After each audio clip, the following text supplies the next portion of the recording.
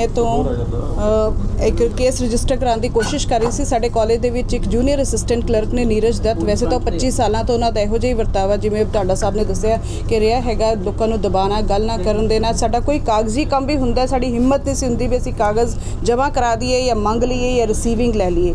ਸਾਡੇ cases delay ਹੋਣਾ, ਛੁੱਟੀਆਂ ਦੇ ਕੇਸਿਸ ਮਨ ਮਰਜ਼ੀ ਨਾਲ ਭੇਜਦੇ ਤਾਂ ਭੇਜਦੇ, ਜਿਹਨੂੰ ਛੁੱਟੀ ਦੇਣੀ ਉਹਨਾਂ ਨੂੰ 6-6 ਸਾਲ ਦੀ ਵੀ ਦਿੱਤੀ ਹੋਈ ਹੈ। ਸਾਡੀ ਇਹ ਕਾਗਜ਼ ਪੱਤਰ ਦਾ ਕੋਈ ਸਾਡੇ ਕੋਲ ਹਿਸਾਬ ਕਿਤਾਬ ਨਹੀਂ ਸੀ ਹੁੰਦਾ। ਔਰ ਮੇਰਾ ਕੇਸ ਜਿਹੜਾ ਹੈ ਮੇਰਾ ਪ੍ਰੋਮੋਸ਼ਨ ਦਾ ਕੇਸ ਵੀ ਜਾਣਾ ਸੀ। 11 ਸਾਲ ਤੋਂ ਬੰਦਾ ਲਟਕਾ ਕੇ ਬੈਠਾ ਉਹ ਕਹਿੰਦਾ, ਜੀ, ਮੈਂ ਤਿੰਨ ਵਾਰੀ ਭੇਜਿਆ ਮੈਂ ਹੁਣ ਇੱਥੇ ਉਹਨਾਂ ਨੂੰ ਯਾਦ ਦਿਵਾਉਣਾ ਚਾਹੁੰਦੀ ਹਾਂ। ਜੇ ਕੋਈ ਇਨਫੋਰਮੇਸ਼ਨ ਮਾਰਚ 2022 ਚ ਮੰਗੀ ਹੈ ਡੀਪੀਆਈ ਦਫ਼ਤਰ ਨੇ, ਇਹਨਾਂ ਨੇ ਸਤੰਬਰ 2023 ਚ ਭੇਜੀ ਹੈ ਇਨਫੋਰਮੇਸ਼ਨ ਡੇਢ ਸਾਲ ਬਾਅਦ, ਤਦ ਤੱਕ ਤਾਂ ਇਨਫੋਰਮੇਸ਼ਨ ਦਾ ਮੀਨਿੰਗ ਹੀ ਖਤਮ। ਉਸ ਰਿਗਾਰਡਿੰਗ ਮੈਂ ਇਹਨਾਂ ਨੂੰ ਇੱਕ ਦੀ ਵਾਰੀ ਫੋਨ ਕੀਤਾ। ਪਲੱਸ ਇਹਨਾਂ ਦੀ ਦਖਲ ਅੰਦਾਜ਼ੀ ਤਾਂ ਹਰ ਕੰਮ 'ਚ ਰਹਿੰਦੀ ਹੈ। ਕੋਈ ਕੰਮ ਹੋਵੇ, ਕਿਸੇ ਹੋਰ ਬ੍ਰਾਂਚ ਦਾ ਹੋਵੇ, ਇਹਨਾਂ ਨੇ ਟਿੱਪਣੀਬਾਜ਼ੀ ਕਰਨੀ ਹੈ। ਔਰਤਾਂ ਤੇ ਟਿੱਪਣੀਬਾਜ਼ੀ ਕਰਨੀ ਹੈ। ਮੇਰੇ ਉੱਤੇ ਕਈ ਵਾਰ ਪਰਸਨਲ ਮੇਰੀ ਨਿੱਜੀ ਜ਼ਿੰਦਗੀ ਤੇ ਕਈ ਵਾਰ ਇਹਨਾਂ ਨੇ ਟਿੱਪਣੀ ਕੀਤੀ ਮੇਰੀ ਸਰੀਰਕ ਬਣਾਵਟ ਤੇ ਇੱਕ ਦੋ ਵਾਰ ਟਿੱਪਣੀ ਕੀਤੀ ਇਹਨਾਂ ਨੇ ਤੁਸੀਂ ਮੋਟੇ ਹੋ ਗਏ ਪਤਲੇ ਹੋ ਗਏ ਕਲਰਕ ਦੀ ਇੰਨੀ ਬਾਉਂਡਰੀ ਨਹੀਂ ਹੈ ਜਾਂ ਮੈਨੂੰ ਲੱਗਦਾ ਕਿਸੇ ਵੀ ਮੇਲ ਕੋਲੀਗ ਦੀ ਇੰਨੀ ਬਾਉਂਡਰੀ ਨਹੀਂ ਹੈ ਕਿ ਤੁਸੀਂ ਮੇਰੀ ਸਰੀਰਕ ਬਣਾਵਟ ਦੇ ਉੱਤੇ ਟਿੱਪਣੀ ਕਰੋ ਜਾਂ ਮੇਰੇ ਕੱਪੜਿਆਂ ਦੇ ਉੱਤੇ ਟਿੱਪਣੀ ਕਰੋ ਮੈਂ ਨਹੀਂ ਅਲਾਉ ਕਰਦੀ ਐਟਲੀਸਟ ਔਰ ਮੈਨੂੰ ਲੱਗਦਾ ਕਿਸੇ ਵੀ ਔਮਨ ਨੂੰ ਵਰਕ ਪਲੇਸ ਤੇ ਇਹ ਚੀਜ਼ ਨਾ ਸਹਿਣੀ ਪਵੇ ਸਾਨੂੰ ਹਿਊਮਿਲੇਟਿੰਗ ਲੱਗਦੀ ਹੈ ਫਿਰ ਸਾਡੇ ਇੱਕ ਪ੍ਰਿੰਸੀਪਲ ਸਾਹਿਬ ਰਿਟਾਇਰ ਹੋ ਕੇ ਜਾ ਰਹੇ ਸੀਗੇ ਮੈਂ ਉਹਨਾਂ ਨੂੰ ਕਿਹਾ ਕਿ ਸਰ ਤੁਸੀਂ ਚਾਹ ਪੀ ਕੇ ਸਾਡੇ ਘਰ ਜਾਇਓ ਮੇਰਾ ਘਰ ਰਸਤੇ 'ਚ ਹੀ ਰਾਏਕੋਟ ਦੇ ਸੀਗਾ ਤੇ ਇਸ ਬੰਦੇ ਨੇ 20 ਬੰਦਿਆਂ ਦੇ ਸਾਹਮਣੇ ਮੈਨੂੰ ਕਿਹਾ ਕੋਈ ਨਾ ਮੈਡਮ ਰਾਤ ਰੱਖ ਕੇ ਸਵੇਰੇ ਨਾਸ਼ਤਾ ਕਰਾ ਕੇ ਭੇਜੋ ਨਹੀਂ ਕਿ ਮੈਂ ਸਿੰਗਲ ਲੇਡੀ ਹੈਗੀ ਔਰ ਜਿਸ ਮਨਸ਼ਾ ਨਾਲ ਕਿ ਉਹ ਸਭ ਜਾਣਦੇ ਸੀਗੇ ਔਰ ਹੱਸਿਆ ਉਸ ਗੱਲ ਤੇ। ਬਾਅਦ ਵਿੱਚ ਮੈਂ ਜਦੋਂ ਕਨਫਰੰਟ ਕੀਤਾ, ਚਲੋ ਜੀ ਮੈਂ ਤਾਂ ਮਜ਼ਾਕ ਕਰ ਰਿਹਾ ਸੀ ਸੌਰੀ ਕਹਿ ਕੇ, ਲੇਕਿਨ ਉਸ ਚੀਜ਼ ਨੂੰ ਇਸਨੇ ਕਈ ਵਾਰੀ ਦੁਹਰਾਇਆ ਕਿ ਮੈਂ ਗੱਲ ਮੈਨੂੰ ਕੋਈ ਇਸ ਚੀਜ਼ ਦੀ ਸੌਰੀ ਨਹੀਂ ਹੈ। ਫਿਰ ਉਸ ਤੋਂ ਬਾਅਦ ਇਹਨੇ ਗਾਲੀ ਗਲੋਚ ਤਾਂ ਰੂਟੀਨ ਦਾ ਕੰਮ ਹੈ ਜੀ, ਸਾਡੀ ਐਗਜ਼ਾਮੀਨੇਸ਼ਨ ਬ੍ਰਾਂਚ ਦੇ ਬਾਹਰ ਖਿੜਕੀਆਂ ਤੋਂ ਬਾਹਰ ਸਾਨੂੰ ਸ- 24 ਘੰਟੇ ਮਤਲਬ ਕੰਮ ਕਰਦੇ ਹੋਏ ਮਾਂ ਭੈਣ ਦੀਆਂ ਗਾਲਾਂ ਸੁਣਦੇ, ਉਹਦੇ ਬਗੈਰ ਤਾਂ ਗੱਲ ਹੀ ਨਹੀਂ ਕਰਦਾ। ਸਾਡੇ ਸੁਪਰਡੈਂਟ ਸਾਹਿਬ ਰਿਟਾਇਰ ਹੋਏ ਨੇ, ਉੱਥੋਂ ਹੀ ਇਹਨਾਂ ਨੇ ਵੀ ਕਈ ਰਿਕਾਰਡਿੰਗਸ ਬਣਾਈਆਂ, ਤੂੰ ਤੜਾ ਕਰਕੇ ਆਪਣੇ ਸੀਨੀਅਰਸ ਨਾਲ ਗੱਲ ਕਰਨਾ। ਇਸ ਤਰੀਕੇ ਦਾ ਜਿਹੜਾ ਹੈਗਾ ਇੱਕ ਵਿਦਿਅਕ ਅਦਾਰੇ ਦੇ ਵਿੱਚ ਇੱਕ ਮਾਹੌਲ ਜਿਹੜਾ ਬਹੁਤ ਹੀ ਗੰਦਾ ਸੀਗਾ। ਕਈ ਸਾਲਾਂ ਤੋਂ ਅਸੀਂ ਡਰ ਦੇ ਮਾਰੇ, ਘੁੱਟਣ 'ਚ ਰਹਿ ਰਹੇ ਸੀ। ਅਲਟੀਮੇਟਲੀ ਜਦੋਂ ਇਹਨੇ ਮੈਨੂੰ ਫੋਨ ਤੇ ਵੀ ਗਾਲਾਂ ਕੱਢੀਆਂ, ਤੂਤੜਾ ਕੀਤੀ, ਮੇਰੀ ਬ੍ਰਾਂਚ ਦੇ ਬਾਕੀ ਮੈਂਬਰਸ ਨੇ ਵੀ ਸੁਣਿਆ। ਔਰ ਸਾਡੇ ਕੋਲ ਕੋਈ ਪ੍ਰੂਫ ਨਹੀਂ ਸੀਗਾ, ਕਿਉਂਕਿ ਇਹ ਤਾਂ ਮਾਫੀ ਮੰਗ ਕੇ ਮੁੱਕਰ ਜਾਂਦਾ ਹੈਗਾ। ਅਲਟੀਮੇਟਲੀ ਸਾਨੂੰ ਪ੍ਰੂਫ ਲੀਕ ਰਿਕਾਰਡਿੰਗ ਜਿਹੜੀ ਹੈ ਅਸੀਂ ਕੀਤੀ ਤੇ ਉਹ ਪੁਲਿਸ ਨੂੰ ਜਦੋਂ ਅਸੀਂ ਜਮ੍ਹਾਂ ਕਰਵਾਈ ਵੀ ਹਾਂ, ਇਸ ਤਰੀਕੇ ਦੀਆਂ ਗਾਲਾਂ ਔਰ ਇਸ ਇਹੋ ਜੀ ਭਾਸ਼ਾ ਮੈਂ ਕਹਿੰਨੀ ਆ ਕਿ ਕਿਸੇ ਦੀ ਵੀ ਮਾਂ, ਭੈਣ, ਬੇਟੀ ਨੂੰ ਉਹ ਨਾ ਸੁਣਨੀ ਪਵੇ। ਹਾਂਜੀ? ਹਾਂਜੀ ਅਸੀਂ ਸਭ ਜਗ੍ਹਾ ਜੀ ਉੱਥੇ ਡੀਪੇ ਦਫ਼ਤਰ ਉਹਦੀ ਰਿਕਾਰਡਿੰਗ ਪੈਨ ਡਰਾਈਵ ਤੇ ਟ੍ਰਾਂਸਕ੍ਰਿਪਟ ਨਹੀਂ ਉਹਨਾਂ ਕੋਲੋਂ ਜਦੋਂ ਸਾਨੂੰ ਕੋਈ ਆਏਗਾ ਉਹਨਾਂ ਕੋਲੋਂ ਕੁਝ ਆਇਆ ਹੀ ਨਹੀਂ ਨਾ ਐਜੂਕੇਸ਼ਨ ਮਿਨਿਸਟਰ ਵੱਲੋਂ ਸਾਨੂੰ ਕੋਈ ਹਜੇ ਤੱਕ ਅਸੀਂ ਚਿੱਠੀ ਪਾਈ ਅਸੀਂ ਉਹਦਾ ਰਿਮਾਈਂਡਰ ਵੀ ਪਾ ਚੁੱਕੇ ਹਾਂ ਠੀਕ ਹੈ ਨਾ? ਔਰ ਮੈਂ ਇਸ ਕਰਕੇ ਮਤਲਬ ਜੋ ਵੀ ਐਕਸ਼ਨ ਲਿਆ ਹੈ ਮੇਰੇ ਦੋ ਲੈਵਲ ਤੇ ਮੇਰੀ ਜਿਹੜੀ ਸਭ ਤੋਂ ਜ਼ਿਆਦਾ ਮਦਦ ਹੋਈ ਹੈ ਸਭ ਤੋਂ ਪਹਿਲਾਂ ਮੈਂ ਢਾਂਡਾ ਸਾਹਿਬ ਦਾ ਧੰਨਵਾਦ ਕਰਨਾ ਚਾਹਨੀ ਹਾਂ। ਇਹਨਾਂ ਨੇ ਮੇਰਾ ਕੇਸ ਜਿਵੇਂ ਹੀ ਮਤਲਬ ਮੈਨੂੰ ਲੱਗਦਾ ਉਸ ਕਲਿੱਪ ਦੀ ਸ਼ਾਇਦ 5 ਸੈਕਿੰਡ ਵੀ ਨਹੀਂ ਸੁਨੇ ਇਹਨਾਂ ਨੇ ਕਿਹਾ ਮੈਡਮ ਬੰਦ ਕਰ ਦਿਓ ਠੀਕ ਹੈ ਇਸ ਨੂੰ ਜੁੱਤੇ ਪੈਣੇ ਚਾਹੀਦੇ। This man needs to be dismissed ਔਰ ਜਿਸ ਤਰੀਕੇ ਦਾ ਛਵੀ ਇਹਨੇ ਖਰਾਬ ਕੀਤੀ ਹੈ ਐਜੂਕੇਸ਼ਨ ਡਿਪਾਰਟਮੈਂਟ ਦੀ ਮੈਨੂੰ ਲੱਗਦਾ ਹੈ ਕਿ ਅਗਰ ਥੋੜੀ ਬਹੁਤ ਵੀ ਕਿਤੇ ਵੀ ਕੋਈ ਸੈਲਫ ਰਿਸਪੈਕਟ ਹੋਏਗੀ ਉੱਪਰਲੇ ਅਥਾਰਟੀਆਂ ਦੇ ਵਿੱਚ ਇਹਨੂੰ ਸਿਰਫ ਉਹ ਟ੍ਰਾਂਸਫਰ ਨਹੀਂ ਕਰਨਗੇ ਇਹਨੂੰ ਡਿਸਮਿਸਲ ਹੋਣੀ ਚਾਹੀਦੀ ਹੈ ਕਿਉਂਕਿ ਛਵੀ ਸਾਰੀ ਖਰਾਬ ਕਰ ਰਿਹਾ ਹੈ ਸਭ ਦੀ ਖਰਾਬ ਕਰ ਰਿਹਾ ਨਾ ਸਿਰਫ ਕਾਲਜ ਦੀ। ਕੀਤਾ ਜਾਂਦਾ ਤੁਹਾਡਾ ਅੱਗੇ ਐਕਸ਼ਨ ਕੀ ਹੋਏਗਾ? ਸਰ ਅਸੀਂ ਕੋਰਟ ਤੱਕ ਜਾਵਾਂਗੇ ਅਸੀਂ ਅੱਗੇ ਨਿਆਂ ਲਈ ਲੜ ਰਹੇ ਹਾਂ ਸਰ ਮੈਂ 17 ਸਾਲ ਤੋਂ ਇੱਥੇ 18 18 ਸਾਲ ਹਾਂ। ਇਹ 25 ਸਾਲ ਤੋਂ ਹੈ ਉਸੇ ਸੀਟ ਤੇ ਹੈ। ਦੂਜੀ ਸੀਟ ਤੇ ਇੱਕ ਦੋ ਵਾਰ ਜੇ ਕਿਸੇ ਪ੍ਰਿੰਸੀਪਲ ਨੇ ਇਹਨੂੰ ਬਦਲਣ ਦੀ ਕੋਸ਼ਿਸ਼ ਕੀਤੀ ਵੀ ਤੇ ਇਹਨੇ ਕੋਰਟ ਕੇਸ ਪਾਤਾ ਜਾਂ ਧਮਕਾਤਾ ਸਾਨੂੰ ਵੀ ਇਹਨਾਂ ਦਿਨਾਂ ਦੇ ਵਿੱਚ ਸਰ ਦੇ ਉੱਤੇ ਵੀ ਪ੍ਰੈਸ਼ਰ ਆਇਆ। ਟਾਂਡਾ ਸਾਹਿਬ ਤੋਂ ਵੀ ਕਈ ਵਾਰ ਅਪਰੋਚ ਹੋਏ ਸਾਡੇ ਉੱਤੇ ਧਮਕੀਆਂ ਵੀ ਆਈਆਂ। ਮੇਰੇ ਜਿਹੜੇ ਪ੍ਰਾਈਮ ਵਿਟਨੈਸ ਨੇ ਸਾਡੇ ਬ੍ਰਾਂਚ ਦੇ ਉਹਨਾਂ ਨੂੰ ਵੀ ਇਹਨੇ legal notice ਦਿੱਤੇ। ਲੀਗਲ ਨੋਟਿਸ ਭੇਜਿਆ।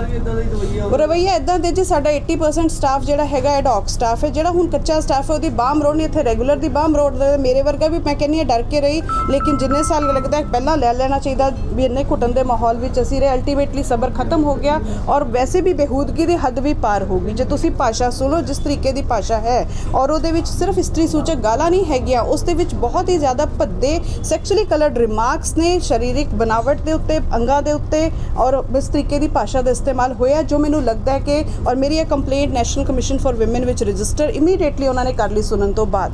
ਉਹਨਾਂ ਨੂੰ ਲੱਗਿਆ ਕਿ ਬਹੁਤ ਹੀ ਆਬਜੈਕਸ਼ਨੇਬਲ ਬਿਹੇਵੀਅਰ ਹੈ ਕਾਲਜ ਦੇ ਵਿੱਚ ਇਸ ਤਰੀਕੇ ਦੀ ਜਾਂ ਕੋਈ ਵੀ ਮੇਲ ਇੱਕ ਫੀਮੇਲ ਲਈ ਇਹੋ ਜਿਹੀ ਭਾਸ਼ਾ ਇਸਤੇਮਾਲ ਕਰ ਰਿਹਾ। ਉਹਦੇ ਵਿੱਚ ਮੈਂ ਬੜੇ ਬਹੁਤ ਅਨਫੋਰਚੂਨੇਟ ਹੈ ਕਿ ਸਾਡੇ ਪ੍ਰਿੰਸੀਪਲ ਨੇ ਸੁਣਨ ਤੋਂ ਬਾਅਦ ਵੀ ਹਜੇ ਤੱਕ ਕੋਈ ਵੀ ਉਸ ਤੇ ਐਕਸ਼ਨ ਨਹੀਂ ਲਿਆ। ਡਾਕਟਰ ਤਨਵੀਰ ਲਿਖਾਰੀ। ਤੇ ਉਹਨਾਂ ਨੇ ਨਾ ਹੀ ਕੋਈ ਐਕਸ਼ਨ ਲਿਆ। ਜਿਹੜੀ ਡੀਸੀ ਆਫਿਸ ਤੋਂ ਵੀ ਮਾਰਕ ਹੋ ਕੇ ਆਈ ਕੰਪਲੇਂਟ ਉਹਨਾਂ ਨੇ ਕਮੇਟੀ ਇਸ ਤੋਂ ਪੁੱਛ ਕੇ ਇਹਦੇ ਹੀ ਬੰਦੇ ਪਾਏ। ਉਹਦੇ ਅਗੇਂਸਟ ਮੈਂ ਆਬਜੈਕਸ਼ਨ ਰੇਜ਼ ਕਰਕੇ ਕਿਉਂਕਿ ਉਹ ਸੀਐਸਆਰ ਰੂਲਸ ਦੇ ਉਹਨੂੰ ਫੋਲੋ ਕਰਕੇ ਨਹੀਂ ਬਣਾਈ ਗਈ ਕਲਰਕ ਸੀ। ਪਾ ਕੇ ਕਮੇਟੀ ਬਣਾ ਕਲਰਕ ਪਾਤਾ ਥੱਲੇ ਜੀ ਮੇਰੀ ਇਨਕੁਆਇਰੀ ਕਰਨ ਨੂੰ। ਤੇ ਉਸ ਕਰਕੇ ਅਸੀਂ ਉਹਦੀ ਆਬਜੈਕਸ਼ਨ ਰੇਜ਼ ਕਰਕੇ ਉਹਨਾਂ ਨੇ ਨਹੀਂ। ਜੀ। ਨਹੀਂ ਉਹ ਕਿਉਂਕਿ ਕਿਉਂਕਿ ਨੂੰ ਬਚਾਇਆ ਕਿਉਂ ਜਾ ਰਿਹਾ ਕਾਰਨ ਕੀ ਹੈ? ਉਹ ਜੀ ਦੇਖੋ ਉਹ ਕੀ ਕਰਦਾ ਹੈ? ਪਹਿਲਾਂ ਬਲੈਕਮੇਲ ਕਰਨ ਲਈ ਕੋਈ ਨਾ ਕੋਈ ਤੁਹਾਡੇ ਕਾਗਜ਼ ਅੱਗੇ ਪਿੱਛੇ ਕਰ ਦਿੰਦਾ ਹੈ ਵਿੱਚ ਵੀ ਤੁਹਾਡੀ ਸਰਵਿਸ ਬੁੱਕ ਦੇ ਵਿੱਚ ਵੀ ਪਾ ਦੂਗਾ ਸਾਰਾ ਕੁਝ ਇਹਦੇ ਹੱਥ 'ਚ ਡਿਸਪੈਚ ਫਾਈਲਾਂ ਸਰਵਿਸ ਬੁੱਕਸ ਪਰਸਨਲ ਫਾਈਲ ਸਭ ਕੁਝ ਤਾਂ ਇਹਦੇ ਉਹਦੇ 'ਚ ਹੁੰਦਾ ਉਸ ਤੋਂ ਕਰਕੇ ਜਿਹੜਾ ਹੈਗਾ ਇਹ ਕੋਈ ਵੀ ਤੁਹਾਡਾ ਕਾਗਜ਼ ਕਿਤੇ ਵੀ ਅੱਗੇ ਪਿੱਛੇ ਮੇਰੇ ਕਾਗਜ਼ ਡੀਪੀਆਈ ਦਫ਼ਤਰ ਪਹੁੰਚ ਹੀ ਨਹੀਂ ਰਹੇ ਜੀ। ਠੀਕ ਹੈ ਨਾ?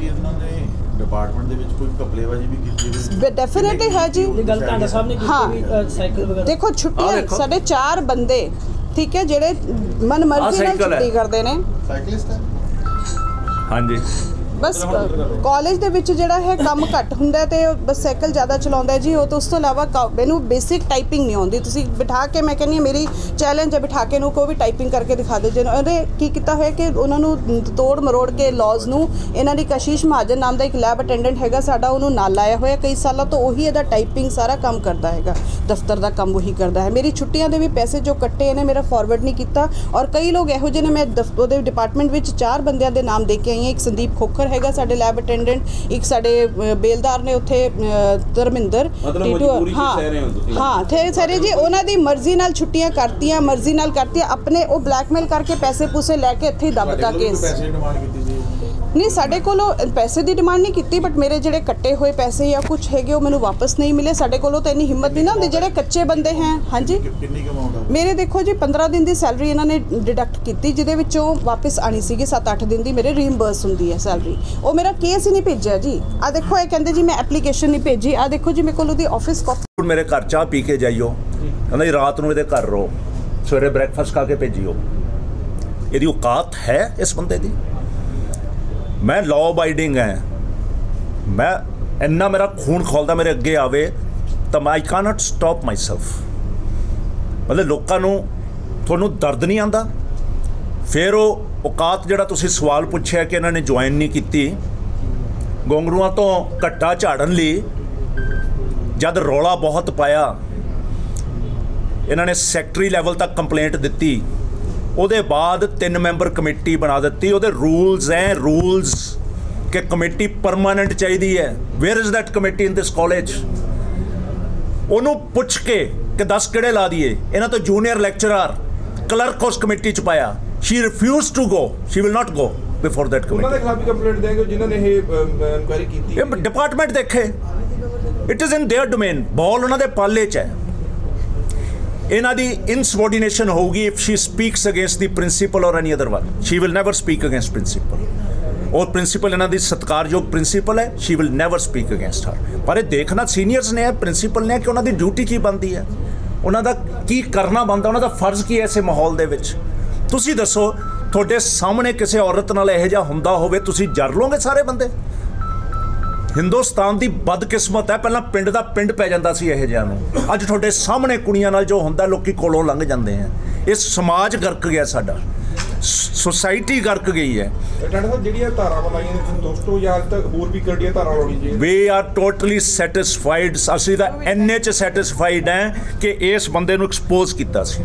We are very satisfied we are satisfied ਕਿ ਵਰਕਿੰਗ ਆਫ ਦਿਸ ਤੀਸ ਤਵਨ government college particularly against women. We have exposed them. We have exposed the government. We have exposed Bhagwant Mann ji we have exposed him ਕਿ ਗੱਲਾਂ ਨਾਲ ਨਹੀਂ ਗੱਲ ਬੰਦੀ assembly ਚ ਬੋਲਣਾ ਕਿ ਅਸੀਂ ਫ੍ਰੀ ਕਰਤੀ ਗੱਲ ਨਹੀਂ ਬੰਦੀ ਕਿਸੇ ਨੂੰ ਫ੍ਰੀ ਨਹੀਂ ਚਾਹੀਦਾ ਆਜ਼ਾਦ ਰਹਿਣ ਦਾ ਸਤਕਾਰ ਨਾਲ ਰਹਿੰਦੇ ਔਰਤ ਨੂੰ ਜੇ ਤੁਸੀਂ ਉਹ ਨਹੀਂ ਦੇ ਸਕਦੇ ਤਾਂ ਫ੍ਰੀ ਬੱਸ ਰਾਈਡ ਕਾਦੀ ਦੇਣੀ ਹੈ ਜੇ ਬੱਸ 'ਚ ਗੁੰਡੇ ਉਹਦੇ ਚੁੰਡੀਆਂ ਵੱਢਣ ਤਾਂ ਉਹਦਾ ਕੀ ਫਾਇਦਾ ਹੈ ਤੁਸੀਂ ਇੱਕ ਇਹੋ ਜਿਹਾ ਮਾਹੌਲ ਤਾਂ ਦਿਓ ਤੁਸੀਂ ਬਾਕੀ ਛੱਡੋ ਤੁਹਾਡੇ ਦੇ ਨਹੀਂ ਹੋਣਾ ਪੁਲਿਸ ਤੁਹਾਡੀ ਫੇਲ ਹੈ ਸਾਰੀ ਕਿਤੇ। ਰੋਜ਼ ਗੋਲੀਆਂ ਚੱਲਦੀਆਂ ਰੋਜ਼ ਗੁੰਡੇ ਹੋ। ਭਗਵੰਤ ਮਾਨ ਜੀ ਨੂੰ ਤਾਂ ਟਾਈਮ ਹੀ ਨਹੀਂ ਮਿਲਦਾ ਆਪਣੇ ਇੱਕ ਕੰਮ ਤੋਂ। ਉਹਨਾਂ ਨੂੰ ਤਾਂ ਕੰਮ ਹੈਗਾ ਆਪੋਜੀਸ਼ਨ ਨੂੰ ਰਗੜਨਾ ਅੰਦਰ ਕਰਨਾ ਹੋਰ ਉਹਨਾਂ ਨੂੰ ਕੰਮ ਹੀ ਕੋਈ ਨਹੀਂ। ਇੱਕੋ ਹੀ ਮਹਿਕਮਾ ਉਹਨਾਂ ਕੋਲ ਬਾਕੀ ਮਹਿਕਮੇ ਤਾਂ ਉਹਨਾਂ ਦੇ ਹੈ ਹੀ ਨਹੀਂ। ਤੁਸੀਂ ਗਵਰਨਮੈਂਟ ਵਰਕਿੰਗ ਸਟਾਫ ਦੀ ਨਹੀਂ ਇੰਪਰੂਵ ਕਰ ਸਕਦੇ? ਤੁਸੀਂ ਮਹਿਕਮੇ 'ਚ ਨਹੀਂ ਇੰਪਰੂਵ ਕਰ ਸਕਦੇ? ਕੱਲ ਨੂੰ ਬੱਚੀਆਂ ਧੀਆਂ ਮੈਂ ਸਮਝਦਾ ਪ੍ਰਿੰਸੀਪਲ ਹੈ ਜਿਹੜਾ ਉਹ ਮਾਂ ਬਾਪ ਹੈ ਕਾਲਜ ਦਾ। ਜਿਹੜਾ ਸੈਕਟਰੀ ਹੈ, ਉਹ ਮਾਂ ਬਾਪ ਹੈ ਪੂਰੇ ਡਿਪਾਰਟਮੈਂਟ ਦਾ। ਜਿਹੜੀਆਂ ਧੀਆਂ ਕੰਮ ਕਰਦੀਆਂ, ਤੁਹਾਡੀਆਂ ਆਪਣੀਆਂ ਧੀਆਂ ਉਹਨਾਂ ਦਾ ਧਰਮ ਨਹੀਂ ਕਿ ਉਹਨਾਂ ਦਾ ਮਾਹੌਲ ਅੱਛਾ ਹੋਵੇ। ਇੱਕ ਇਹੋ ਜਿਹੇ ਦਰਿੰਦੇ ਨੂੰ ਛੱਡਿਆ ਹੋਇਆ ਕਿ ਉਹ ਗੰਦ ਬਕੇ ਐਂਡ ਜੇ ਅੱਜ ਵੀ ਅੱਜ ਵੀ ਕੰਨ ਨਹੀਂ ਖੁੱਲਦੇ ਐਡਮਿਨਿਸਟ੍ਰੇਸ਼ਨ ਦੇ, ਲਾਹਨਤ ਹੈ ਇਹਨਾਂ ਤੇ। And I will take them on road ਮੈਂ ਚਾਹੇ ਮੈਨੂੰ ਧਰਨਾ ਦੇਣਾ ਪਵੇ, ਮੈਂ ਧਰਨਾ ਜਾ ਕੇ ਦਊਂ ਪ੍ਰਿੰਸੀਪਲ ਦੇ ਕਮਰੇ ਦੇ ਬਾਹਰ ਕਿ ਬੈਠਾ ਕਿਵੇਂ ਇੱਥੇ ਗੰਦ ਦਾ ਟੋਕਰਾ। This is what it is ਠੀਕ